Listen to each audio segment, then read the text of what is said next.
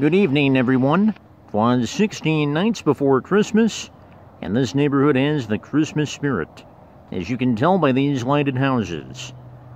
Now, instead of providing a deep narration throughout the whole video, I'm going to do something a little different tonight. I'm going to show you a few houses, and then I'll be back with a little commentary when I'm done.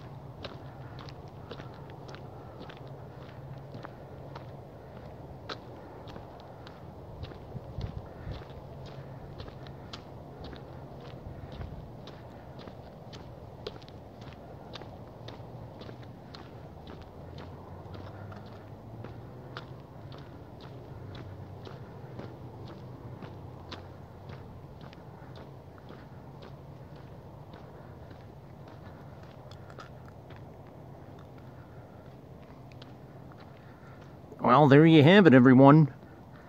Whether we're in tough times like these or normal times, good times, whatever, we can always count on neighborhoods decorating their houses with beautiful Christmas lights.